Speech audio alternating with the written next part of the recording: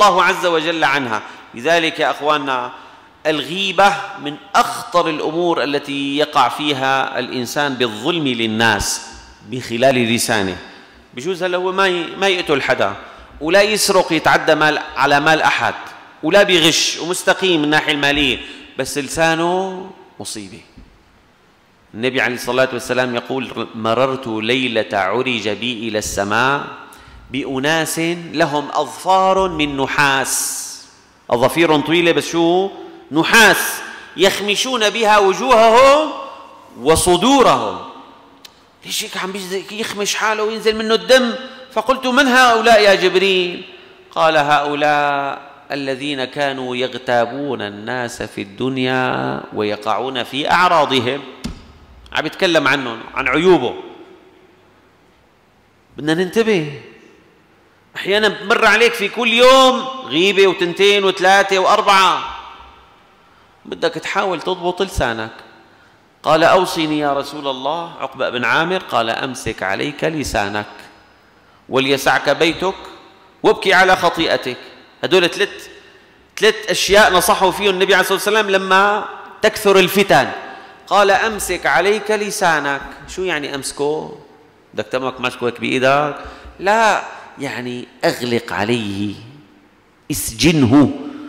مثل ما قال سيدنا عبد الله بن عباس بن مسعود ما رأيت شيئا أحق بسجن من اللسان. ليش الله جعل لك فكين؟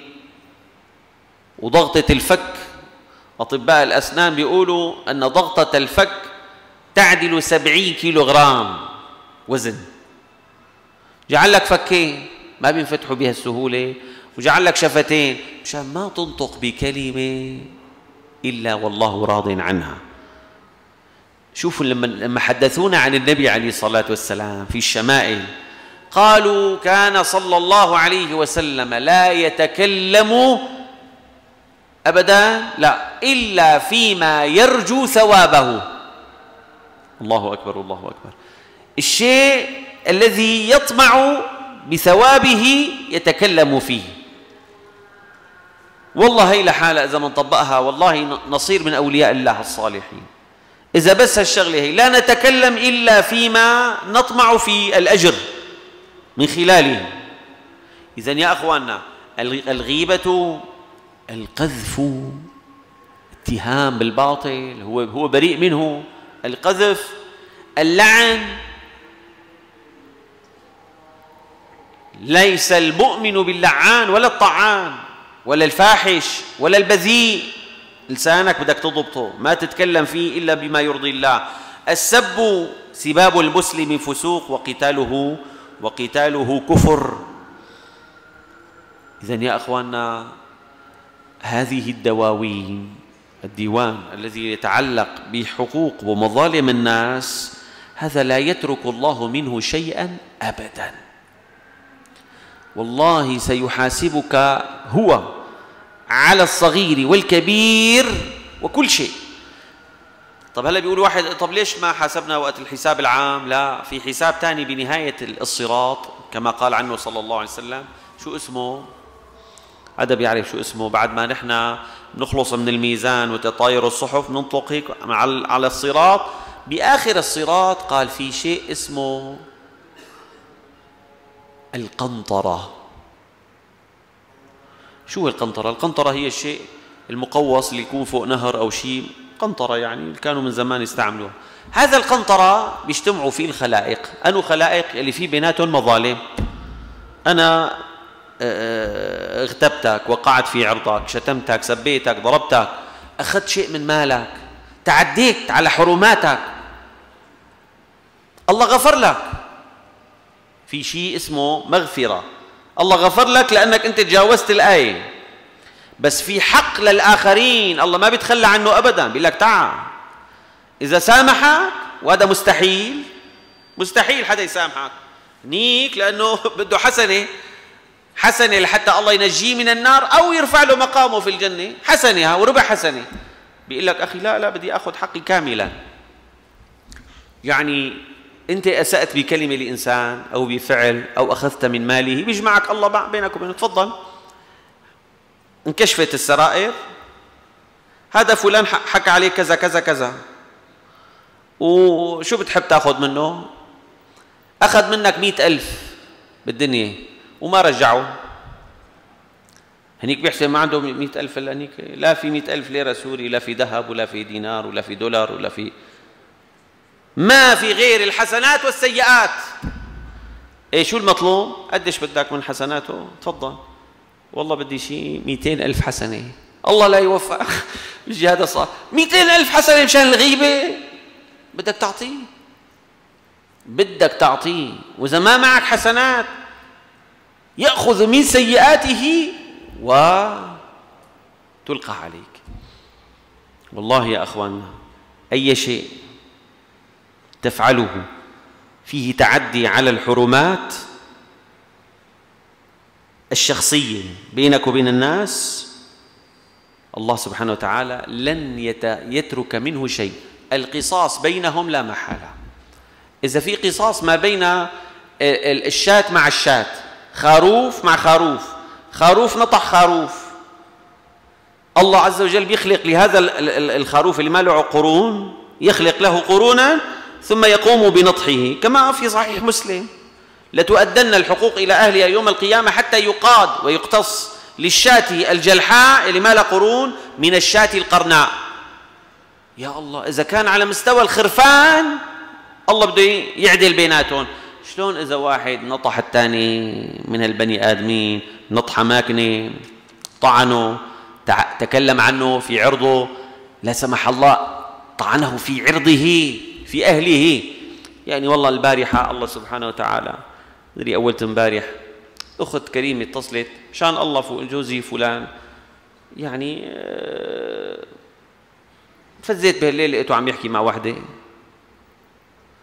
عرفتيها اي والله متزوجة. طيب يا أخي هذا هذا شلون بدك تلقى الله سبحانه وتعالى؟ هلا بجوز الله يغفر لك بكرة هذا الحق العام الحق اللي بينك وبينه. بس حينما يجمعك مع زوجها بالقنطرة شو بدك ترضيه؟ أنت أسأت إلى عرضي. أسأت إلي. بدك ترضيه؟ بده ياخذ من حسناتك. بجوز يحملك كل سيئاته. بدك تتصافى أنت وياه.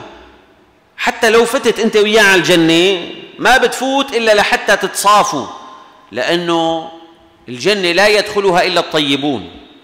الله قال ونزعنا ما في صدورهم من غل. شلون بده ينتزع هذا الغل؟ بالتصافي على هالقنطرة. هذه آخر المراحل قبل دخول الجنة والنار في قنطرة. انتبه الاعتداء والظلم والأذية للناس في دمائهم أو أموالهم أو أعراضهم. المسلم من سلم المسلمون من لسانه ويده والمؤمن من أمنه الناس على دمائهم وأموالهم وأعراضهم. أنت مسلم ومؤمن ما هيك؟ ينبغي أن يسلم منك المسلمون في دمائهم وأموالهم وأعراضهم. وإذا كنت مؤمن كمان بده يأمنك المؤمنون على دمائهم وأموالهم وأعراضهم. وإذا ما كنت هيك اتلقى يوم القيامة الحساب العسير الشديد. رد بنرجع بنقول دواوين الحساب ثلاثة. ديوان لا يغفر الله منه شيئا وهو ديوان الشرك. خلاص اسمه مشرك ما في له عليه حساب هذا. ما في حساب. مشرك خلاص. إن الله لا يغفر أن يشرك به. إنه من يشرك بالله فقد حرم الله عليه الجنة. مو بس هيك ومأواه النار. وما للظالمين من أنصار. الله حذرنا بآيات كثيرة عن الشرك فلما بده يبقى على شركه يصطفي. ندعو لهم بالهداية. وأن يعودوا إلى دائرة التوحيد والإيمان. بس الثاني ديوان ما بينك وبين الله من المظالم الله يغفرها وقد يسامع بها وقد يحاسب. ولكن هو بشرنا بالمغفرة إذا نحن تبنا وأنبنا إلى الله. أما الديوان الأخطر ظلم العباد بعضهم بعضا. دير بالك. وقد يكون هذا الظلم من أقرب الناس لك وأنت قد يكون ظلمك إلى أقرب الناس لك قد تظلم أحد والديك لا تؤديه حقه.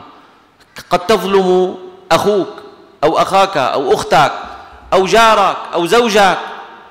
انتبه انتبه لأنه إذا ما في هنالك يعني عدل بمعنى الأداء للحقوق بكل ما تعني الكلمة من معنى فهنالك في حساب وفي هنالك مساءلة وهنالك وقوف عند الشيء اسمه القنطرة. شو اسمها القنطرة وردت في الحديث. يجتمع فيها الناس ويتقاصون فيما بينهم. نسأل الله سبحانه وتعالى أن يجعلنا من الذين يستمعون القول فيتبعون أحسنه. رد بقول لك في ناس عم بيجوا على الجامع وعم يستسهلوا أداء العبادات. والصيام والذكر وتلاوة القرآن ولكن في علاقاتهم مع الناس بدهم يديروا بالهم بدهم يديروا بالهم. ما يكون في هنالك أذية ولا اعتداء ولا ظلم.